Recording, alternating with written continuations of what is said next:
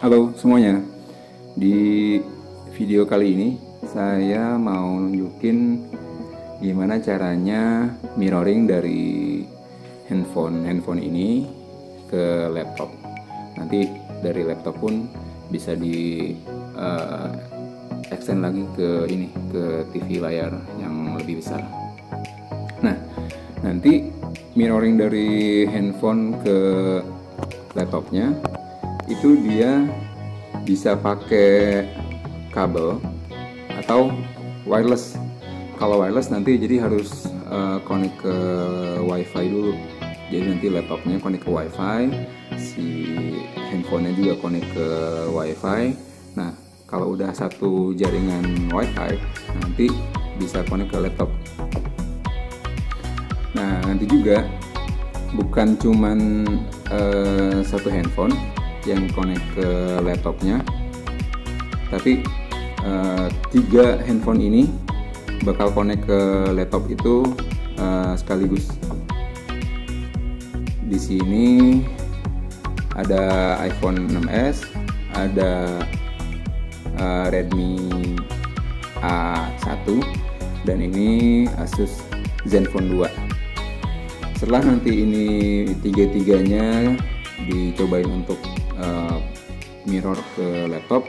Nanti setelah itu coba kalau handphonenya dipakai uh, jadi remote buat spark. Dan nanti kita lihat hasilnya di laptop ini atau di TV oke? Okay? bisa connect ke laptop handphone handphone tadi kita bakalan pakai aplikasi ini uh, Power Mirror.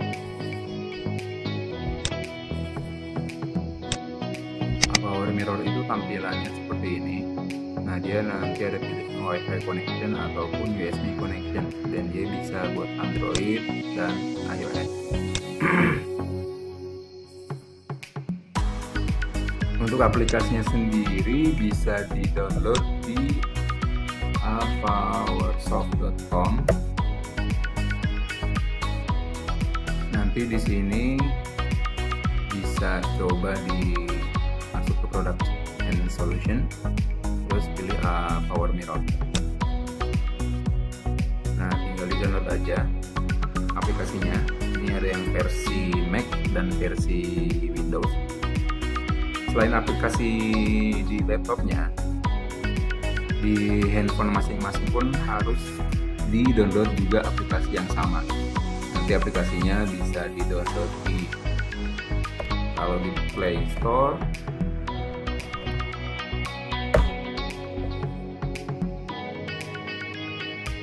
Itu ada Power Mirror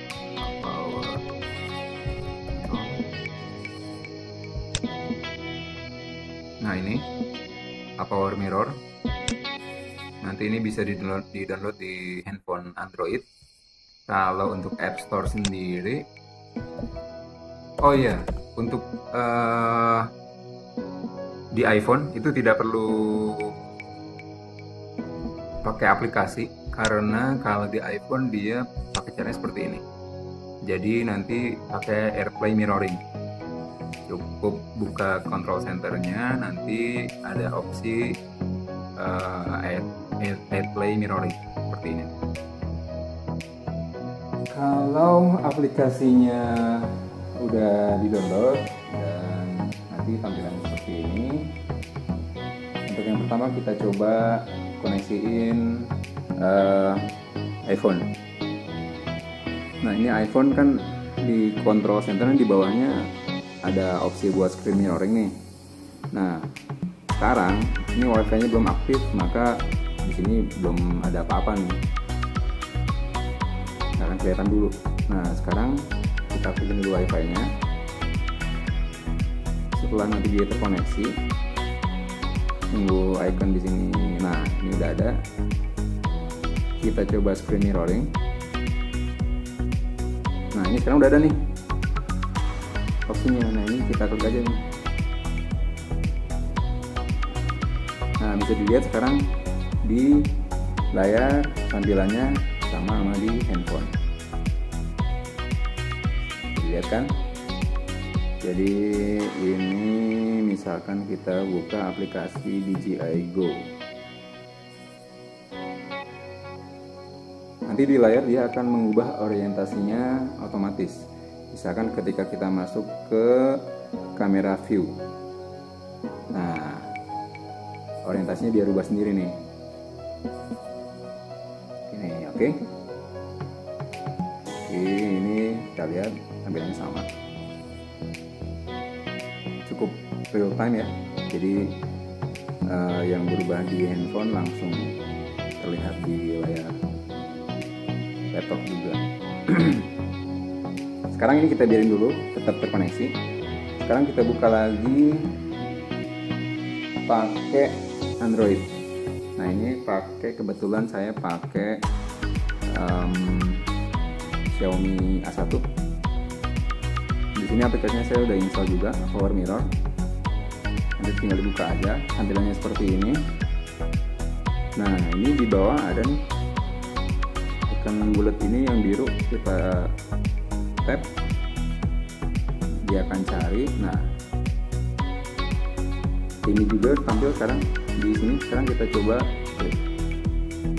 Kita pilih phone screen mirroring nanti kalau misalkan mau dibalik gitu si yang tampil di layar laptop ditampilin di handphone juga bisa. Tapi untuk sekarang kita mau mirroring dari handphone ke laptop. Nah kita pilih start now. Oke jadi bisa dilihat sekarang di laptop tampilannya sekarang ada dua. Satu iPhone ya. Satu Android. Android ini kebetulan di Android ini kebetulan saya install aplikasi uh, TSS saya coba buka aja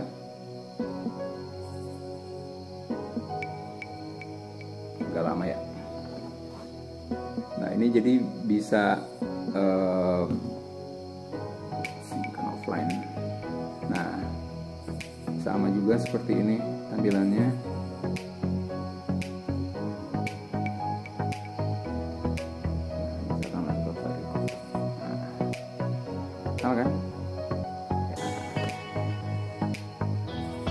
Oke, nah sekarang untuk yang ketiga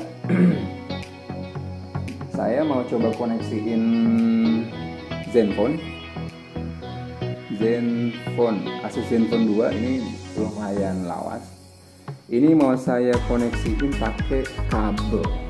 Kita pakai kabel biasa.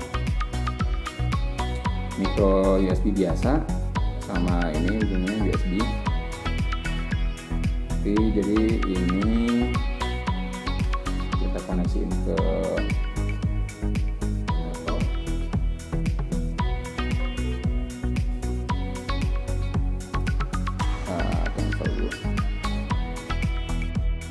untuk yang Android koneksi lewat kabel. Nanti setelah kita colok kabelnya ke handphone di layar ada opsi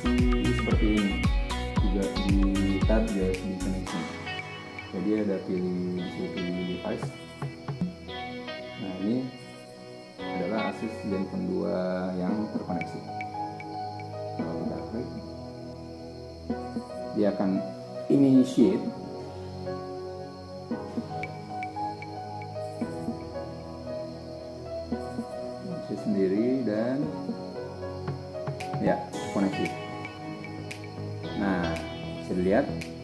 ini juga coba saya buka DJI Go. Yang ini juga iPhone. Saya buka lagi. Kita buka DJI ini juga sama. Jadi di situ. Nah ini juga sama. Kita konekin lagi. Nah now jadi sekarang di layar di laptop ada tiga tampilan handphone.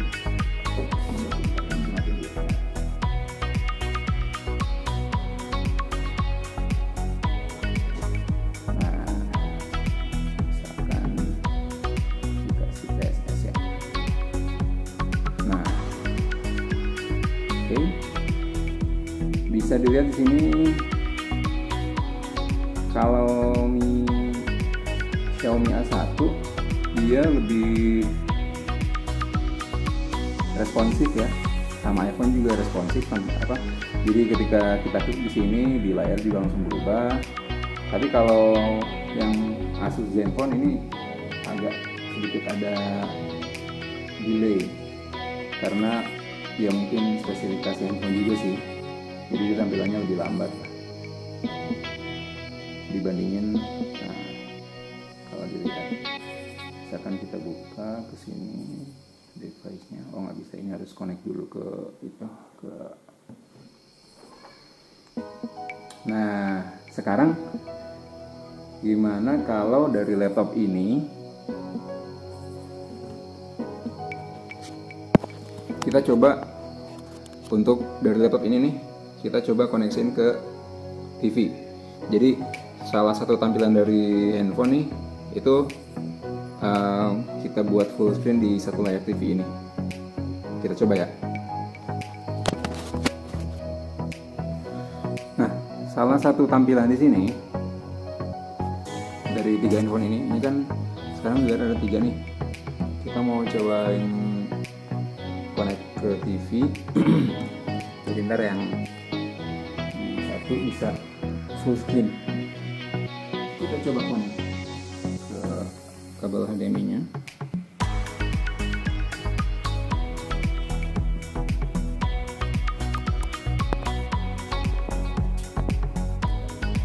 Oke, sekarang udah nih. Nah, kita pindahin satu.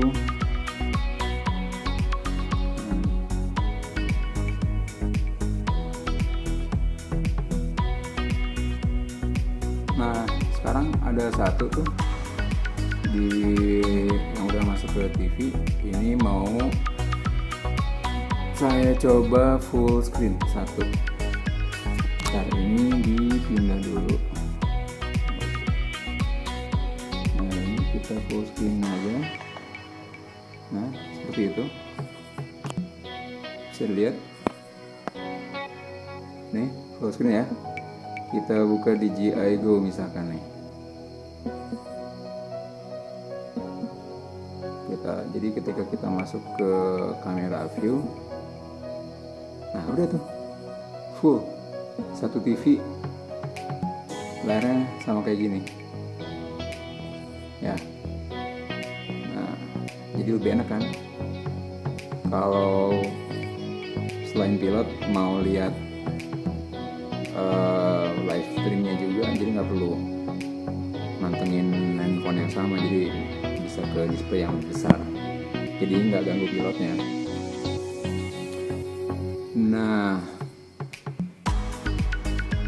sekarang kita coba koneksiin si um, drone pakai handphone ini dan kita lihat di TV oke okay?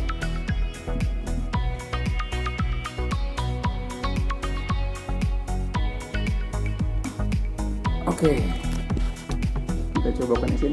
Karena dari handphone ini ke laptopnya itu connect lewat WiFi, maka nanti koneksi dari handphone ke drone-nya itu pakai kabel OTG. Oke.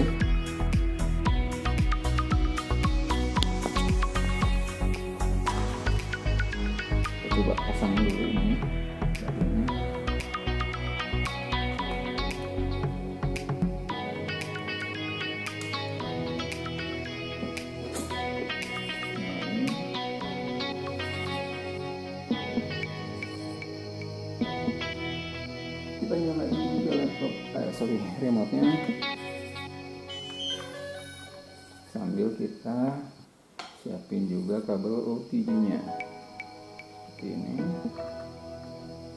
Oke.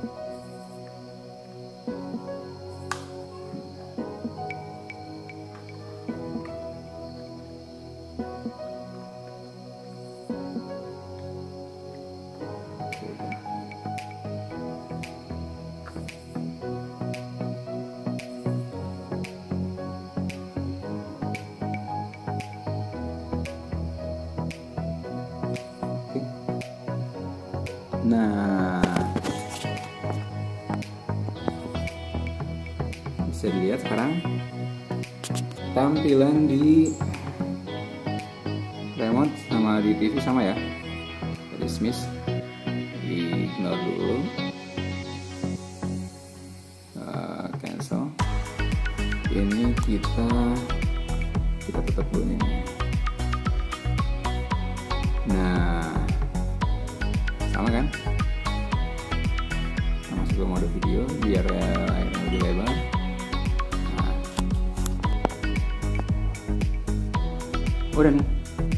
Siap dipakai di lapangan.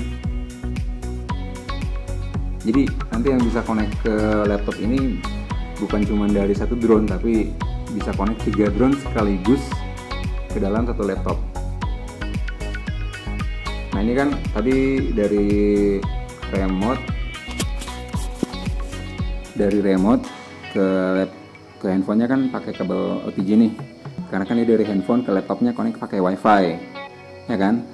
Nah nanti kalau misalkan uh, dari handphone ke laptopnya connect lewat kabel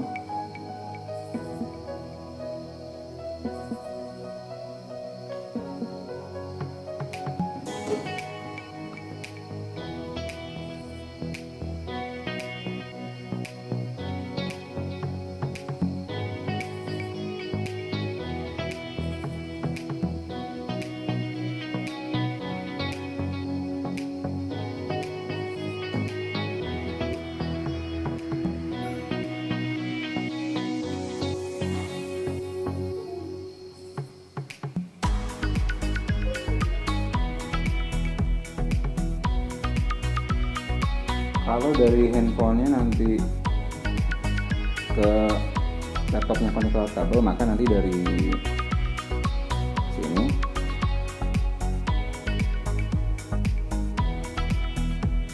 Dari handphone ke remote nanti ya lewat wifi jadinya. Tinggal dibalik aja sih. Nah oke deh kita coba. Ini kan sekarang uh, dari iPhone nih yang connect ke drone nya sekarang kita coba dari handphone ini connect ke drone. Nanti dia tampilnya di bawah sini.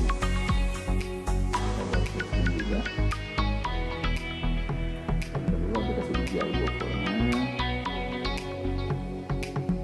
oke. Tunggu ini kita kita cabut dulu cabut dulu kabel OTG nya oke.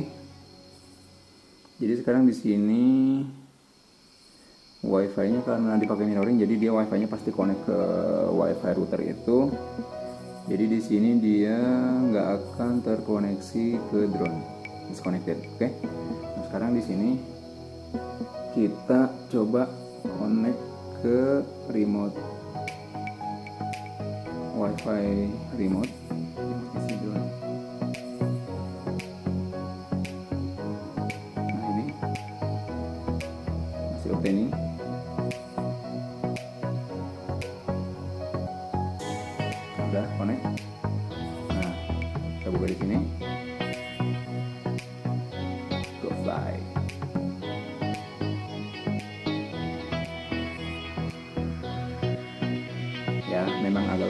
karena handphonenya uh, susi handphonenya.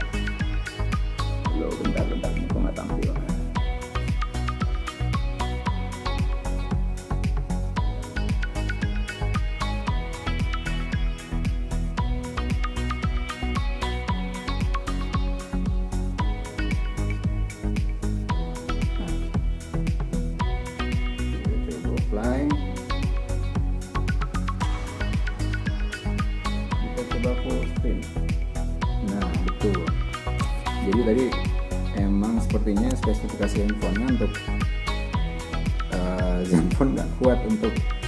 mirror ke laptop dengan full screen dia cuma bisa uh, window mode nya aja.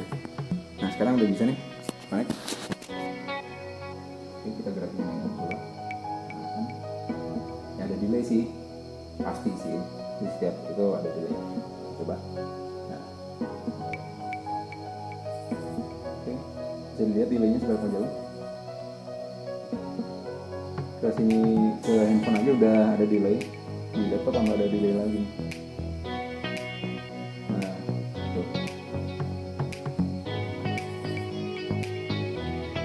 kita coba di iPhone delaynya seberapa jauh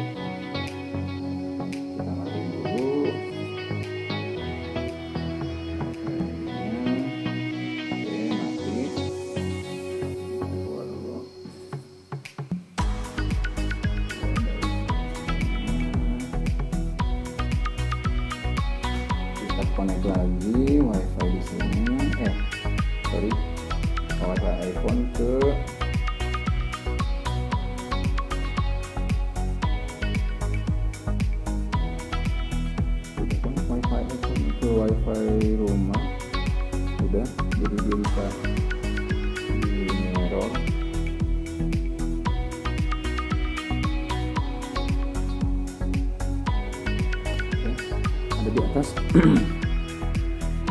Kita masuk lagi tadi ke DJI Go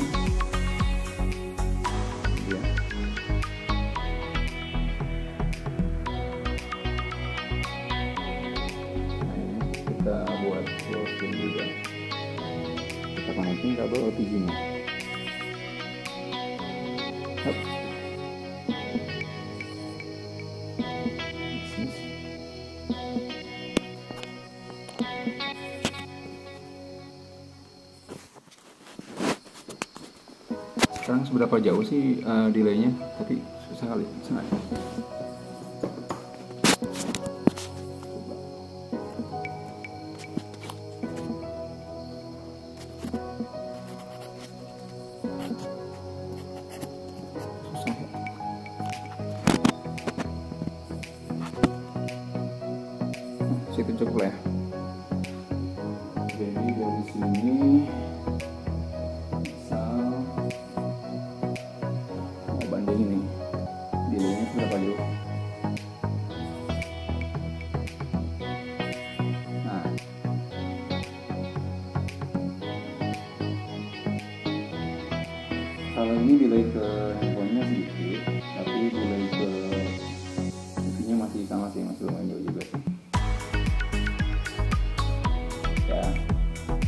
cukup lah untuk second display.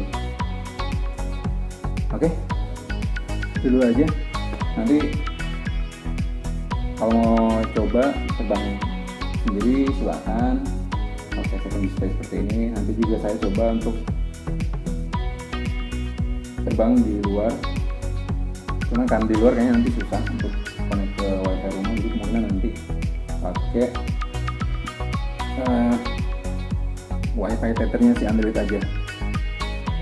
Oke? Itu dulu ya